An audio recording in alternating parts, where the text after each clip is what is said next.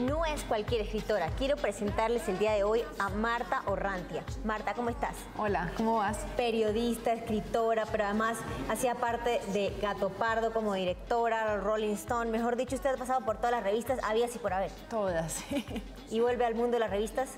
Eh, no creo, para escribir nomás, pero para dirigir nunca más. Malo, ¿Qué lo encontró de malo?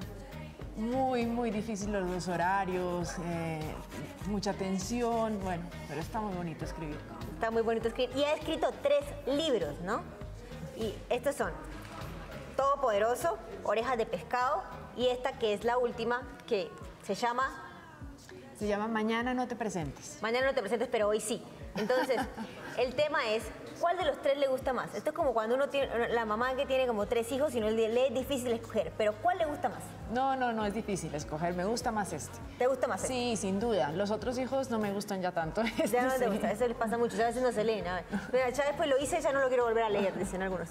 Bueno, Mañana no te presentes. Es un contexto del Palacio de Justicia, de la toma del Palacio. Cuéntenos un poco como el contexto general que hizo que usted escribiera este tipo de cosas. Bueno, es una, empezó hace tres años, empecé a investigar esto siempre por una obsesión por el, em, por el Palacio de Justicia, por lo que ocurrió ahí, por lo que no se conoce.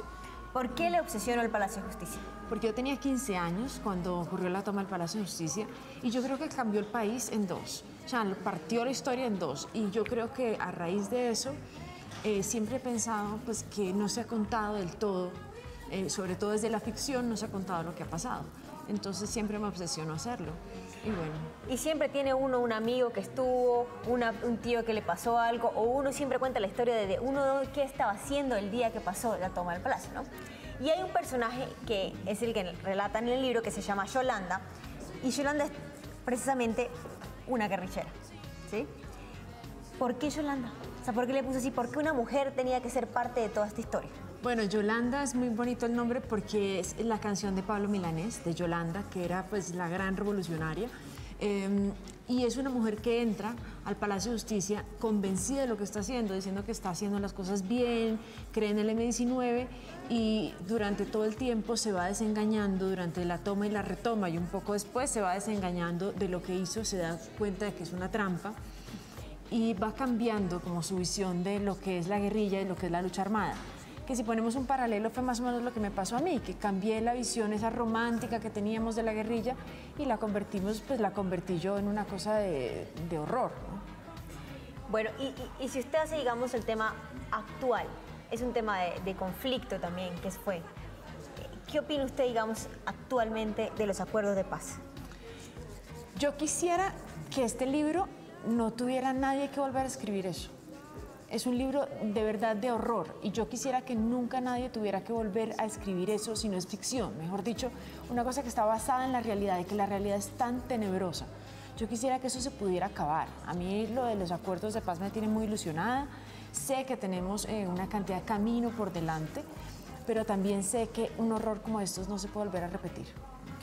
Y, me, y me lleva a la pregunta anterior y es, la mujer desde el punto de vista en la guerra, ¿no? ¿Por qué la mujer? O sea, siempre, porque la mujer, la mujer siempre ha sido como un, foco en donde llama toda la atención de todo lo que está pasando en la guerra. ¿Por qué escogido precisamente eso? Bueno, curiosamente, la mujer no ha sido eh, un foco de nada. Hasta ahora que empezamos a hablar de las Digo, donde cae toda la ah, violencia, donde reposa. Somos, hay tres millones de mujeres desplazadas, hay cientos de miles de mujeres eh, amenazadas, violadas, desaparecidas, secuestradas. Y yo creo que las mujeres percibimos la guerra de una manera distinta. ¿Por qué? Porque somos mamás, porque tenemos la capacidad de crear vida, porque somos esposas, porque somos hijas. Em, yo creo que las mujeres percibimos, eh, digamos, un conflicto que básicamente ha sido masculino, lo estamos percibiendo de una manera diferente y somos las primeras víctimas en la guerra. Las mujeres eh, son víctimas de muchísimos delitos al tiempo. Entonces, eh, no solo víctimas, sino además siendo victimarias incluso, perteneciendo a las guerrillas, han sido mujeres eh, maltratadas, han sido mujeres violadas, han sido mujeres a, las que se les ha privado de su feminidad. Entonces creo que somos víctimas. Ese es un tema importante y sobre todo me, lleva un poco al tema del plebiscito actual. Entonces usted va con el sí, definitivamente. Por Sí, supuesto. Absoluto. Voy Listo. con el sí. Y va con el tema de la tolerancia. ¿Le gusta el tema de la tolerancia? Me encanta el tema de la tolerancia. Pero ¿cómo recibió usted el tema de la tolerancia? Yo me acuerdo usted que fue parte de un, de un artículo que fue como conmoción, ¿se acuerda?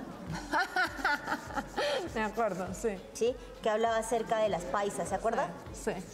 Que todo el mundo se le fue encima de eso, mejor dicho, carta a Marta Orrantia, Marta Orrantia, por favor, eh, vuelve otra vez, no te vayas, vete para siempre. Mejor dicho, ¿cómo, ¿cómo fue usted, cómo recibió en tema de tolerancia todas esas críticas que tuvo por ese artículo que hizo en Soho? Bueno, fue muy impresionante porque yo, eh, ese artículo salió en 2010, esto hace seis años y todavía tengo todavía seguimos. grupos de odio, amenazas de muerte, cosas terribles. Dios y mío. finalmente eh, era una cosa de odios regionales, entonces una bogotana hablaba de la paisa, la paisa de la bogotana, la costeña de la caleña. No fui yo, no fui solo yo, No, una sí, cantidad de mujeres, pero resulta que no pasa nada distinto, sino en, eh, no pasó nada diferente sino en Antioquia.